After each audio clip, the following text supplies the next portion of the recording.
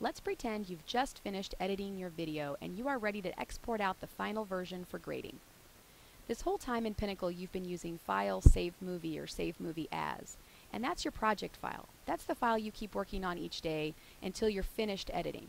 Once you're completely finished editing, you have to export out the final version for us to watch and for me to grade. So to do that, you click the Export button in the upper right corner. By default, it's set to be a file, and the default is to make it an AVI file type. Click on that drop down and change it to Windows Media. Now you'll click Start Export. Now it's going to ask you where do you want to save this file.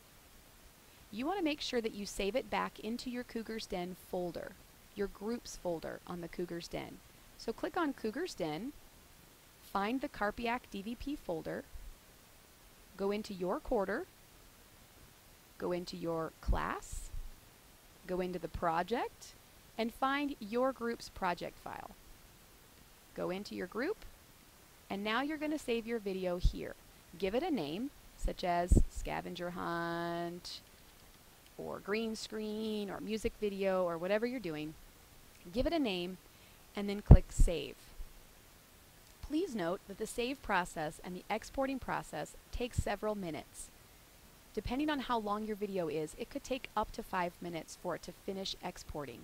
You just need to let it run until it completes. Otherwise your video won't get saved.